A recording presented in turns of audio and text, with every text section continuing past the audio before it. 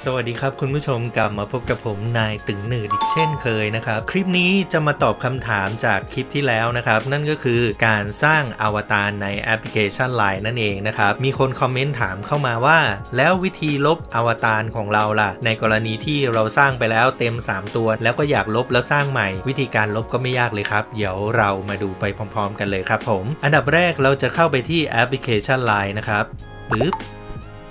พอเข้ามาในแอป Line แล้วนะครับ ให้เรามาที่หัวข้อหน้าหลักนะครับ หลังจากนั้นให้เราเข้าไปที่โปรไฟล์ของเรานะครับ ก็คือคลิกที่ชื่อของเราได้เลยครับปึ๊บ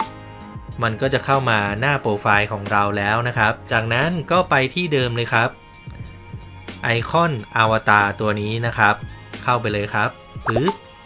หลังจากที่เข้ามาในอวตารของเราแล้วนะครับ อย่างที่เคยบอกไปแล้วนะครับ ถ้าในกรณีที่เราอยากสร้างอวตารเพิ่มนะครับ ก็มาคลิกที่เครื่องหมายบวกตรงนี้ครับผม แต่ในกรณีที่เราอยากลบตัวอวตารของเรานะครับ ให้คุณผู้ชมเข้าไปที่เมนูนี้ครับ มันเป็นลูกศรไปกับตัวนี้นี่เองนะครับ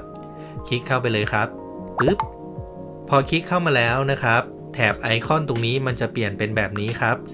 ในกรณีที่เราอยากลบอวตารตัวไหนนะครับ ให้เรามาคลิกที่เครื่องหมายกากบาทเลยครับ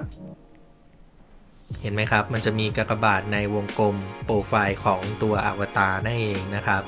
เราก็คลิกไปเลยปึ๊บมันก็จะลบเสร็จเรียบร้อยแล้วครับผม จากนั้นเนี่ยเราก็มากดเครื่องหมายถูกได้เลยครับปึ๊บ